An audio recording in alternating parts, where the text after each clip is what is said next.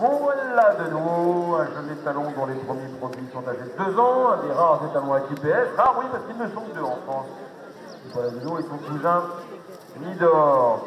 C'est la famille de Caspara et Mr. Schreiner, dont nous avons parlé tout à l'heure, un peu plus en début de ce concours.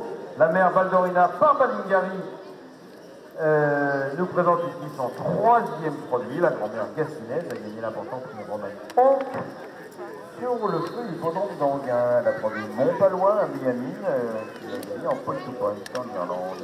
Et gagné aussi c'est également en Irlande. Les meilleurs points de la famille, bien sûr, ce sont Gaspara et Mr. Thriller de Black Type en France et en Angleterre. Voici donc pour le 94 l'élevage du champ de la Croix présenté par Jean-Nicolas Tiger. Suis-moi, Paco.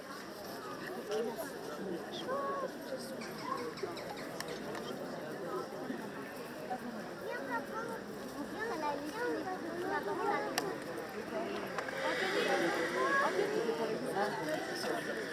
a Merci. Je t'ai pas vu courir, hein